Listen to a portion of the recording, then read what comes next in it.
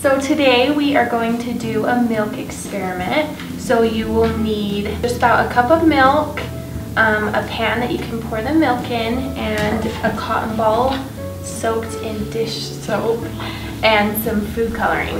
This little experiment is going to work on their scientific skills, preferably their observation skills as they watch what is happening and we can also work on their language development as we or they are describing what they are seeing and what is happening to the milk. It also can work on their memory recall as they are watching and seeing what is happening. They're working on their memory to describe what happened.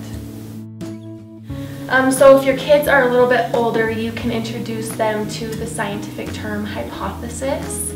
Um, maybe before you actually put the cotton ball in the milk, ask them, what do you think is going to happen? And they can use their language development then and describe what they think is going to happen. Isn't that so cool?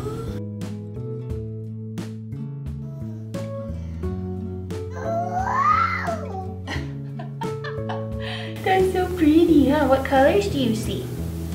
You see red? I see green. Huh.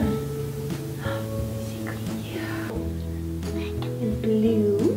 No. Blue. Oh, And green. no.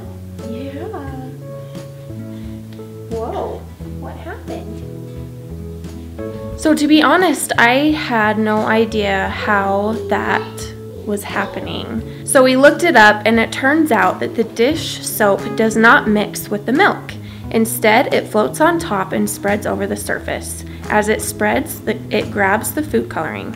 Soap is a degreaser, so the molecules in it are attacking the fat in the milk, causing motion, which creates the swirling of the colors. Thanks for watching. Make sure to follow me on Instagram and subscribe to my YouTube channel. Comments or questions, just comment down below.